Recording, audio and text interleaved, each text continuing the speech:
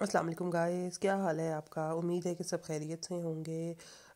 आज मैं आपको रावलपिंडी की एक बहुत ही मशहूर और बड़ी दुकान ज़री की दुकान पे लेके जाऊँगी और ये हम अपना टूर शुरू करते हैं। दुकान जो है बेसिकली ये लोकेटेड है मोती बाज़ार रावलपिंडी में और दुकान का नाम है नज़ाकत ज़री हाउस मोती बाज़ार रावलपिंडी। यहाँ पे आप देख सकते हो लेसेस की, ऊन की, एक बहुत ह्यूज वैरायटी जो है इनके पास अवेलेबल है। और ये स्वेटर बुनने वाली ऊनें इनके पास इंपोर्टेड लोकल ये लेसेस शटल में, मोतियों वाली, ये सब तरह की लेसेस जो हैं इनके पास अवेलेबल थी। ये ऊनें देखें, इनके कलर आप चेक करें अच्छा ये आ गई जी लेसेस। बहुत ही खूबसूरत और हसीन लेसेस थी दुपट्टे के पलुओं पे लगाने के लिए, शर्ट्स पे लगाने के लिए। आप चेक करते जाएँ बस इनके पास क्या क्या है। अच्छा यहाँ पे आप देख लो, ये नेकलाइन हैंगिंग्स हैं, पैचेस दिए हुए हैं, ये मोतियों की लड़ियाँ हैं, ये जो खुद डाई करवाई होती हैं, ये वो हैं। यहाँ पे आपको स्टोन वाले नेकलाइन पैचेस नज़र आएँगे। ये मोतियों की लड़ियाँ हैं। इन्हें खुद डाई करवाना एक बड़ा टाइम टेकिंग प्रोसेस है। इन्होंने आपके लिए डाई करवा के रखी हुई हैं। कॉमन शेड्स में और अनकॉमन शेड्स में भी। और ये बड़ी अच्छी एफर्ट इन्होंने की हुई है।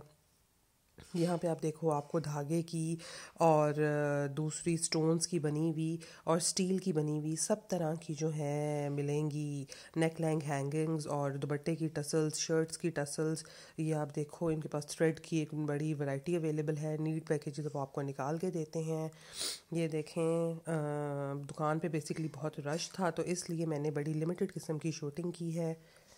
ये देखें, ये पैचेस हैं ट्राउज़र्स के शर्ट्स के। ये आप देखो, जरी के डिफरेंट पैचेस हैं ट्राउज़र्स पे लगाओ शर्ट्स पे लगाओ स्लीव्स पे लगाओ, ये नेक लाइन्स हैं प्राइजेस मेंशन है। दुकान का नाम है नताकत जरी हाउस, मोती बाज़ार रावल पिंडी ये आप देख लें कलर्स इनके पास बेशुमार एक एक पीस में कलर अवेलेबल था। ये नेक लाइन्स हैं जो एम्ब्रॉयडरी नहीं करवाएँ, वो ये नेक लाइन्स लगवा लें। ये कुछ बटन्स थे इनके पास। ये हैंडमेड बटन्स थे। ये देखें गाइस बड़े अच्छे बने हुए। और बटन्स की मैंने कम रेंज कवर की है क्योंकि बहुत ज़्यादा रश था शॉप पे। अच्छा बेसिकली आगे मैं आपको दिखाऊँगी कि जिस काम के लिए हम गए थे, वो क्या था। तो मुझे डायमंडीज चाहिए थे और कलर करवाने थे। इन, पहले मैंने इनसे डायमंडी बाई किए, उसके बाद मैंने इन्हीं से कलर करवाए। ये देखो जो जो कलर मैं इन्हें कहती गई, वो ये मुझे डाई करके देते गए हैं। ये देखें एंड रिज़ल्ट कुछ इस टाइप का था और बड़े रीज़नेबल रेट्स में इन्होंने ये सब कुछ मुझे करके दिया। और ये मैंने करवाए क्यों, वो भी आप देखें, एक कस्टमर का क्लच था, उसके ऊपर ये डायमंडीज जो थे वो पेस्ट करने थे। और ये देखें, ये एंड रिज़ल्ट टाइप कुछ था इन डायमंडीज का ड्राई होने के बाद। उसके बाद शॉप के एक हिस्से में इन्होंने मेकअप रखा हुआ था, ये आप देखते जाओ। काफ़ी मेकअप शैम्पू इस तरह का था सामान और ये इनके पास ब्राइडल क्लचेस भी अवेलेबल थे।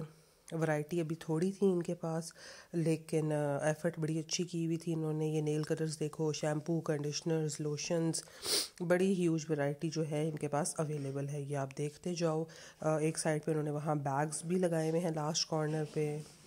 उम्मीद है वीडियो आपको पसंद आएगी। इंशाल्लाह मैं आपसे मिलूँगी नेक्स्ट वीडियो के साथ। ओके, अल्लाह हाफिज़।